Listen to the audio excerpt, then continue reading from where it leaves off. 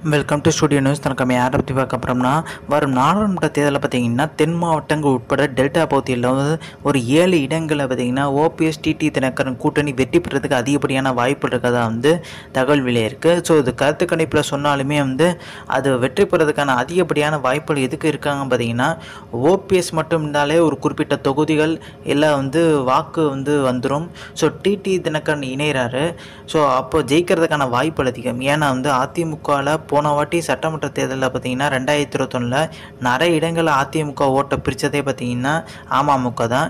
இப்போ எடப்பாடியோட ஓபிஎஸும் இல்லை. ஓபிஎஸ் பார்த்தீங்கன்னா டிடி தினகரனோட இருக்கார். ஸோ கண்டிப்பாக வந்து ஓபிஎஸ் டிடி தினகரன் கூட்டணி வெற்றி பெறதுக்கு அதிகப்படியான வாய்ப்பு இருக்குது ஸோ இது டெல்லி நிறைய தடவை சொல்லிட்டாங்க. ஒன்றிணைந்த அதிமுக உருவாக்குங்கன்னு சொல்லிட்டு எடப்பாடி பழனிசாமி கேட்குற மாதிரியே இல்லை. ஸோ இதோட விளைவு என்னன்னு பார்த்தீங்கன்னா எடப்பாடி பழனிசாமிக்கு வரும் நாடாளுமன்ற தேர்தலில் பார்த்தீங்கன்னா தக்க பதிலடி பார்த்தீங்கன்னா மக்கள் கொடுப்பாங்கன்னு சொல்லிட்டாங்க. ஸோ இந்த information ముడిచా like share subscribe thanks for watching this video